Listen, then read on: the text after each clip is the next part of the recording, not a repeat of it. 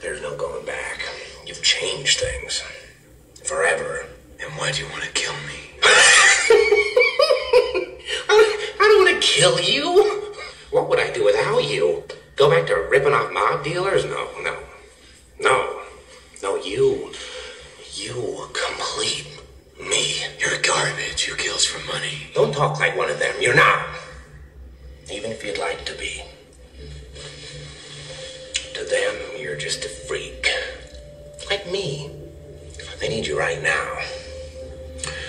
When they don't, they'll cast you out. Like a leper. See, their morals, their code. It's a bad joke. Dropped at the first sign of trouble. They're only as good as the world allows them to be. I'll show you. When the chips are down, these, uh, civilized people, they'll eat each other. See, I'm not a monster. I'm just ahead of the curve.